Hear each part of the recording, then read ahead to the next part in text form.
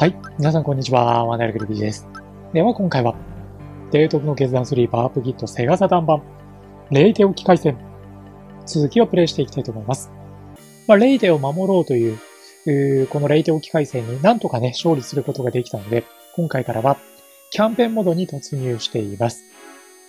当面の目標なんですけども、まずはですね、レイテを守るために、艦隊をレイテに集中させ、航空隊もレイテ周辺に集結させということを行ったので、えー、ニューギニア方面がですね、少しアメリカ軍に占領されてしまったという部分があります。まあ、具体的にはですね、ペリリュー、ウエバク、ここですね。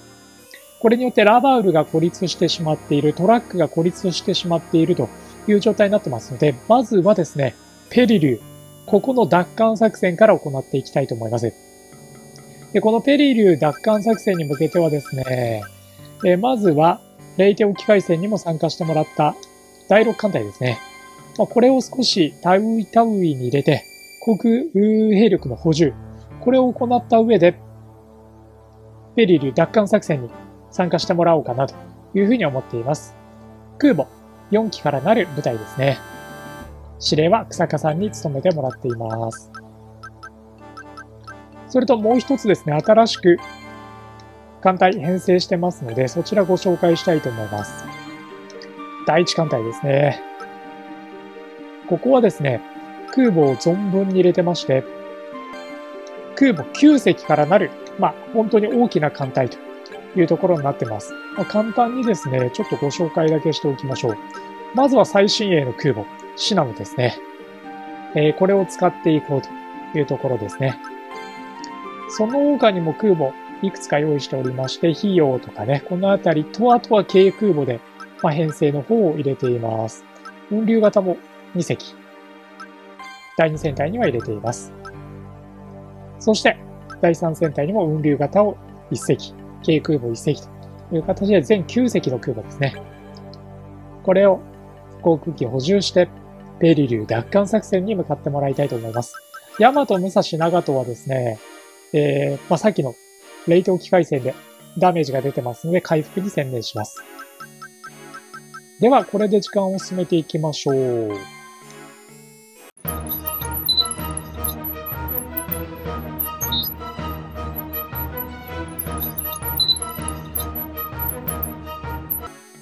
はい。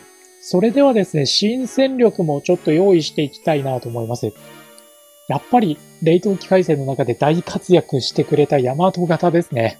これ、もう一隻作りましょう。まあ、ヤマト型はですね、ご存知の通りヤマト武蔵と、まあ、二つの超同級戦艦として作られて、えー、さらにですね、まあ、あの三番艦としてシナノも建造が進められていたんですけども、えー、空母戦力が、まあ、あの消耗したというのもあって空母に、えー、まあ、作り変えられたわけなんですけども、やっぱりここはですね、真の大和型3番艦、これをちょっと作っていきたいですよね。まあ、ただ、残念ながら今見ていただいた通り、予算が足りなくて作れないということだったので、ちょっとね、えー、しっかり節約してお金を貯めて、大和型超土級戦艦真の3番艦ということでね、作っていければいいかなと思います。では他の戦力ですね。あのー既存の大和型が入っている第二艦隊ですね。ここにつける軽順と駆逐艦を何隻か作っておきたいと思います。現状、大和武蔵を護衛する者がほとんどいないという状態なので。では、第6艦隊ですが、タウイタウイを出撃して、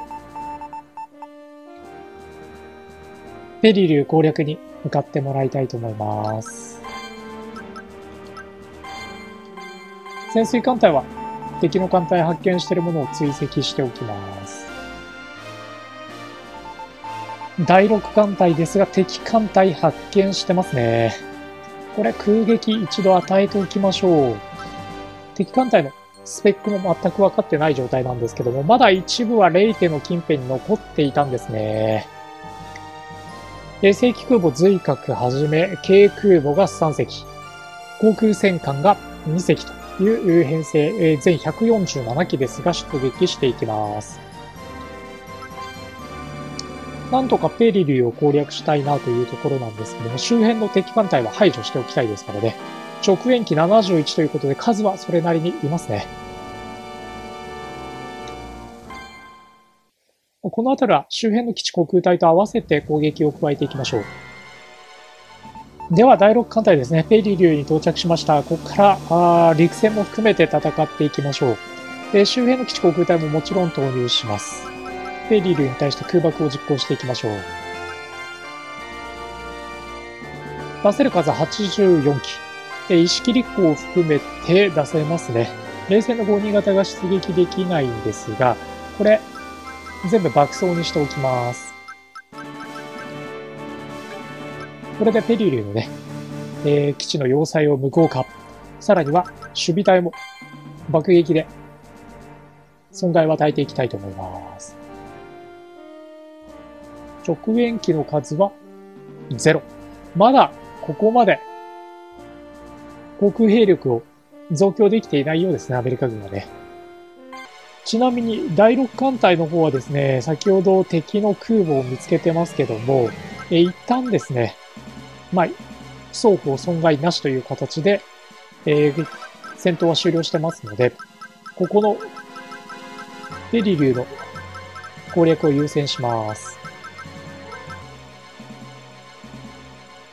ダバオからもペリリューに対して波状攻撃仕掛けていきます。あ、ここも前期出撃ですね。え爆撃機を飛ばしましょう。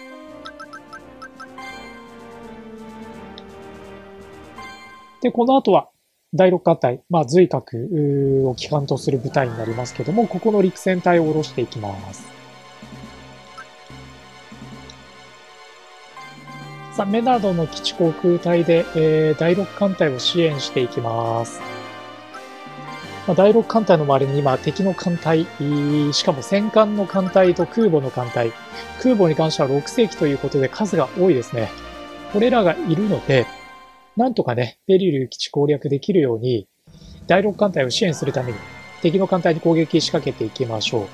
まず最初の目標にしているのがメナドの基地航空隊ですけども、これ戦艦を撃沈していきたいと思います。戦艦がいるとね、空母が砲撃戦に巻き込まれると危ないので、ここにいますね。ここに戦艦1。これを最優先で仕留めにかかりましょう。戦艦アラバマでしたね。これなんとかね、撃沈させたいというところで撃沈してます。戦艦を仕留めるとだいぶ気持ちが楽になりますね。戦艦1、巡洋艦1を撃沈してます。